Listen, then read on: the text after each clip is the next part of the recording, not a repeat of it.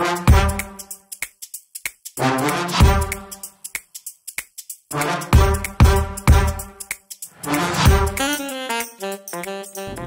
خريجة علوم سياسية تخصص قانون دولي في الجامعة الأمريكية. بابايا يعني من الدكاترة في القسم بتاع المسرح.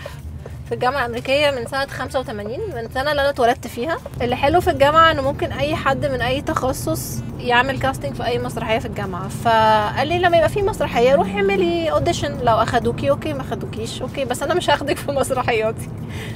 يعني كتير قوي يقول لك أولاد فنانين قدروا يمثلوا بواسطة أو عشان أهاليهم فنانين ومش عارف إيه. بس ما أعتقدش إن أنا بندرج تحت الليستة دي لسبب انه أنا بابايا في الآخر هو دكتور في الجامعة يعني هو حاجة أكاديمي أنا بابايا مش نجم. بحس إن أنا بتحط في الليستة دي بالغلط مع إن بقى في ناس في الليستة دي فعلا موهوبة يعني في ناس فعلا ولاد فنانين موهوبين وفي منهم أنا بشوفهم موهوبين أكتر من أهاليهم كمان.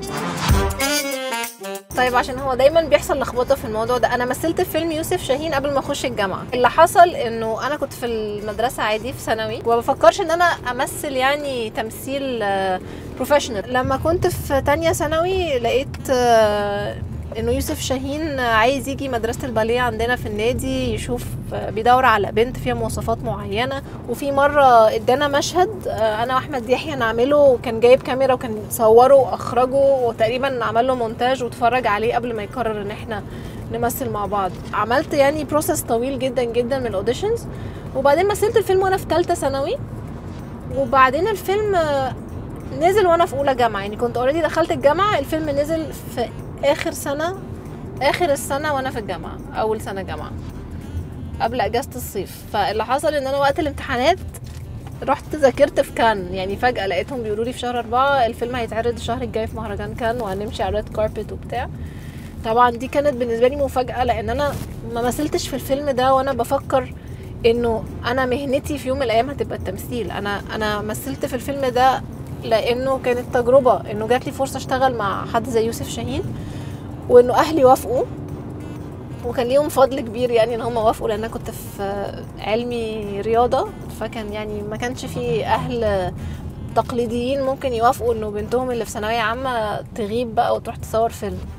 بس وأنا في الجامعة بقى ابتدى يجيلي أدوار لأنه الفيلم ده اتعرض بين أولى وتانية جامعة ابتدى بقى يجيلي أدوار. وأنا ما كانش ينفع أغيب عن الجامعة فقعدت أعتذر عن كل الأدوار اللي بتجيلي لمدة ثلاث سنين لحد ما خلصت جامعة.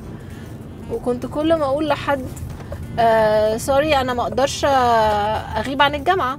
كنت دايما بقول للإنتاج إنه آه أنا تمام أنا فاضيه في أجازة الصيف في شهرين أو ثلاثة أنا ممكن أصور أي حاجة. غير كده أنا ما أقدرش أصور طول ما أنا في الجامعة. وبالتالي طبعا ما مثلتش طول ما أنا في الجامعة لأن عمر ما المواعيد دي نفعت. عندنا مشكلة مؤخرا إنه في مخرجين كتير مش بيخرجوا وإنه في فكرة غلط إنه الناس لما الممثل يبقى نجم أو إن الممثل يبقى ممثل جامد بالتالي هو ما بقاش محتاج مخرج.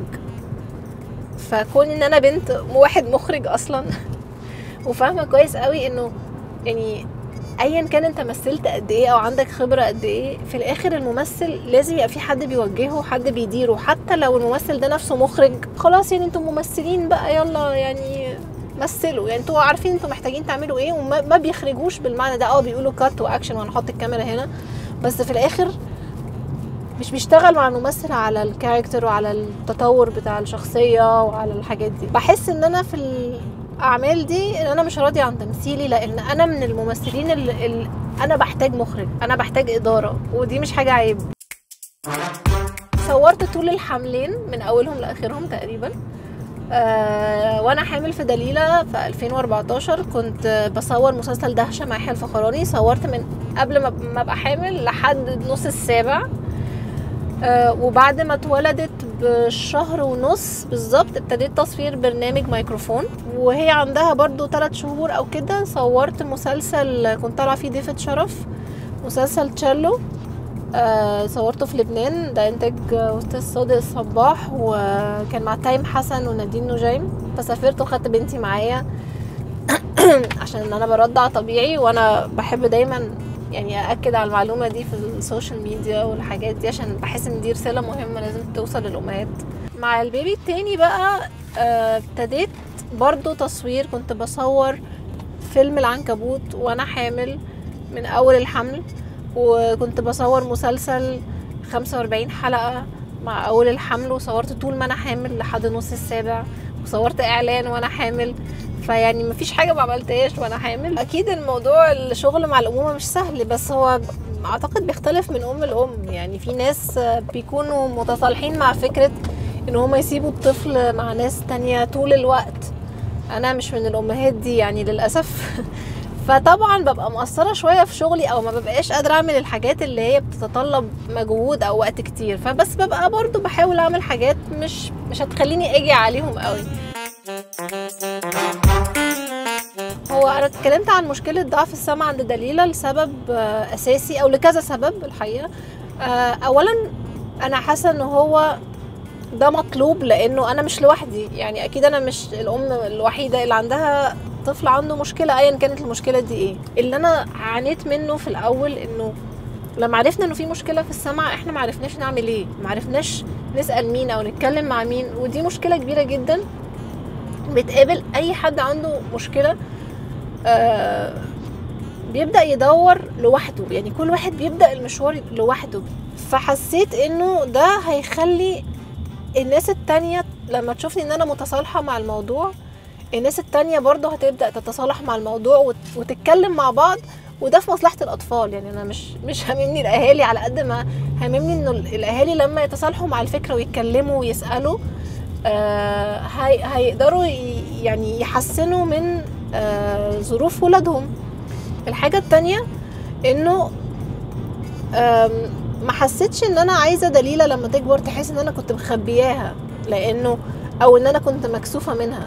لأنه بالعكس أنا فخورة بيها وفخورة إن هي خلتني أنا دلوقتي أو اللي أنا بقيته دلوقتي. أنا بقيت حد تاني بسببها وأنا شايفة إن اللي أنا بقيته ده أحسن أصلا من اللي أنا كنت قبل كده. ابتدى بقى إنه الناس عايزة دايما في ال social media تبين قد إيه حياتها حلوة وإحنا كلنا بنحب بعض وكلنا cute وكلنا روشين وكلنا لابسين حلو.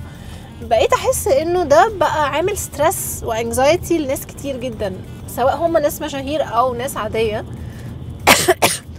بقيت أحس إنه كل الناس بقت متوقعة إنه أنا لو شكلي مش كده وأصحابي مش كده ومش بنروح الأماكن اللي شكلها كده آه وعاملين فلتر فشكلنا حاطين perfect makeup ومرفعين نفسنا وكل الحاجات دي. آه هيبقى أنا كده أنا حياتي فيها حاجة ناقصة. فالناس كلها بتكذب على بعض وكل الناس مصدق يعني كذب بعض وهبقى في كومبيتيشن بقى يعني مين اللي هيصدر كذبة شكلها أحلى. ف... فدي لعبة أصلا مش بتاعتي يعني أو مش مهتمه إن أنا أشارك فيها بأي شكل من الأشكال. بطلت أخرج كتير زي الأول.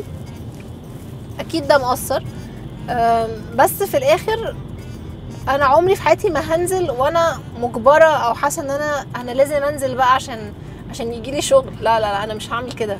أنا لو في event لطيف أو في مغني معين أو في concert حاجة معينة فيها PR وفيها ناس أنا حابة اشوفها فانا ممكن أجي على نفسي وأروح.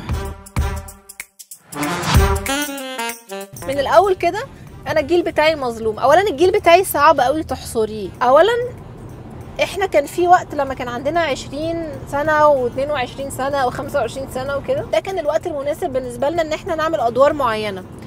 بس الجيل الأكبر هو اللي كان بيتكتب له سيناريوهات يعني أو بي بينتج له أعمال. ده أثر على جيل إن إحنا بقينا دايما بيجي لنا الدور التاني صاحب البطل أو مش عارف إيه. فاحنا كنا في مرحلة عمرية بس ما استغلوناش وإحنا في المرحلة العمرية دي. فما حصلش التصعيد معين كان المفروض يحصل في وقت معين. ومؤخرا ابتدى برضو في رأيي أنا الشخصي أغلب الإنتاج ابتدى يبقى فيه استرخاص بزيادة. أنا مش بتكلم على أجور الممثلين أنا بتكلم على استرخاص في الإنتاج بشكل عام. آه فما بيبدوش عايزين يدوا حاجة حقها. فلما بيبقى في ناس جديدة أو انفلونسرز أو وجوه جديدة هم بيبقوا عايزين عندهم ميزانية معينة محدودة عايزين يشتغلوا فيها فبالتالي بيجيبوا ناس أجرها مش عالي قوي فبيساعدوهم فنفس مشكلة جيلي إن إحنا لما بنتنازل بنحس إن إحنا بنستغل وفي نفس الوقت لما بنرفض عشان عندنا أجر أو عندنا minimum يعني standards مش عايزين ننزل عنها آه ما بنشتغلش. النقطة الأخيرة برضو إنه إحنا جيلنا ما طلعش في ال social media. يعني إحنا ما ظهرناش أو بداياتنا ما كانتش ما كانش already في social media فأعتقد إنه الجيل الصغير بيستغل ال social media لصالحه من أول ما طلع أو من قبل ما يطلع. يعني هم عندهم استراتيجي معينة في دماغهم بي- بينفذوها عشان يوصلوا اللي هم عايزينه. إحنا طلعنا في وقت ما كانش فيه social media كنا بنعمل interviewهات في مجلات وفي جرايد وحاجات كده. فاهمة؟ فبرضه ده أكيد ده أكيد فارق إن انت انت انت قاعدة في بيتك وقاعدة بتعملي بقى posts وبتعملي حاجات وكل الناس بتشوفك. في حين إن إحنا قعدنا كتير قوي لحد ما ابتدت الناس تعمل لنا انترفيوز أو يعملوا لنا حوارات أو كفرز في مجلات نفسي ما بقاش متعلقة في حتة كده ملهاش أي معنى يعني نفسي يبقى يا إما هي ممثلة جامدة جدا يا إما على الأقل يبقى في تقدير. لعدد الحاجات اللي أنا مثلتها والناس اللي أنا اشتغلت معاها والتاريخ اللي أنا مثلت فيه بكل الأفلام والمسلسلات اللي أنا عملتها. أكتر ديستنيشن بحبه هو للأسف مبقاش موجود يعني بس آه، هي المنتزه في اسكندرية. ده المكان اللي أنا اتربيت فيه كل صيف كنت بروح أصيف هناك. آه وده المكان اللي أنا خدت فيه بنتي لحد يعني من سنة أو سنتين. وحتى هي عندها ذكريات. إحنا دي هي تعتبر رابع جيل في العيلة عنده ذكريات هناك. أنا جدي وجدتي ومن ناحيتين ومامتي وبابايا وكل أصحابهم وكل عيلتنا من ناحيتين. وأنا اتربيت هناك وعندي ذكريات وأصحاب وصور وكل وكنت دايما بقضي عيد ميلادي هناك عشان أنا مولودة في شهر 8 فكان دايما بعمل عيد ميلادي في الكابينة في المنتزه. و زعلانة جدا ان المكان ده ما بقاش موجود بنفس الشكل اللي أنا متعودة عليه.